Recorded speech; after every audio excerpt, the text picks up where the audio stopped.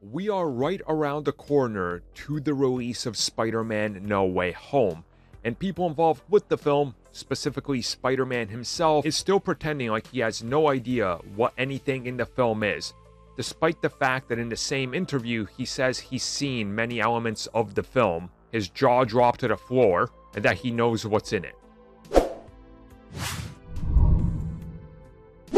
In a recent interview with E! Magazine, Tom Holland has been talking up Spider Man No Way Home, and rightfully so. It's his next big film. This thing is looking like it's going to be a giant blockbuster hit.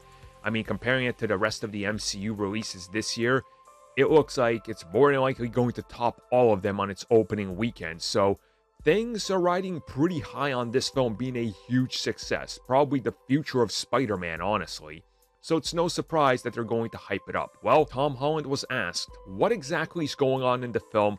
What can he confirm? Can he mention the other two Spider-Men, Tobey Maguire and Andrew Garfield specifically for those that might question what I'm talking about? And he said that he doesn't know if they're involved with the sequel. He doesn't have any ideas, and he's been kept in the dark in regards to what the film is about and what's going on. In the same interview, when they ask him about if he's seen any of the film, he revealed he's seen multiple scenes. Scenes with additional characters. The one scene with four characters sitting around the table chatting, how his jaw dropped when he saw the completed sequence. He couldn't believe that it was there. I mean, so in the same interview, he goes from, I've seen elements of this film, cuts of this film in sequences that made my jaw drop, and also talking about recent action sequences involving crazy things nobody thought they would ever see on film. And then he follows it up with, I don't know anything about this film. I don't know if the other Spider Men are in it. I don't even know all the villains. I mean, uh, look, they've trained them in that PR manner where it's like, sound like you don't know what's going on, but don't try too hard. It just now sounds like he's trying so hard that he comes off really stupid trying to sound like he doesn't know what's going on. Like, does that make sense?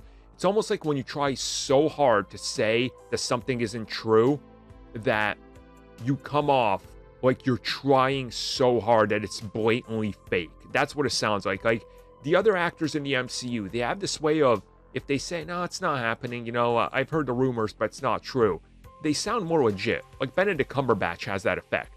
He says, and people are like, well, you believe him. It's Benedict Cumberbatch. Why would he lie?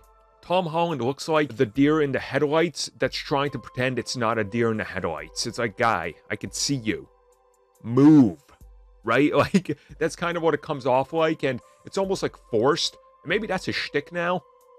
Kind of like how he's just playing Peter Parker clueless in the Uncharted movie. Maybe that is his shtick. I don't know.